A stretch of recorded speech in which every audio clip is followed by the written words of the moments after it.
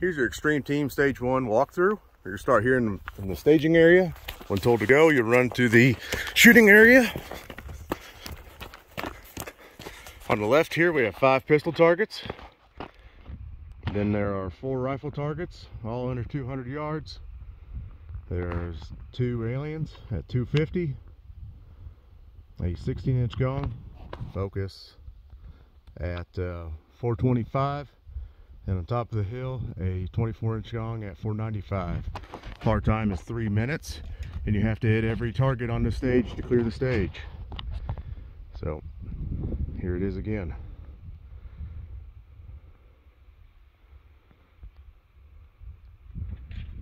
Then you got a doghouse here for support. Thank you.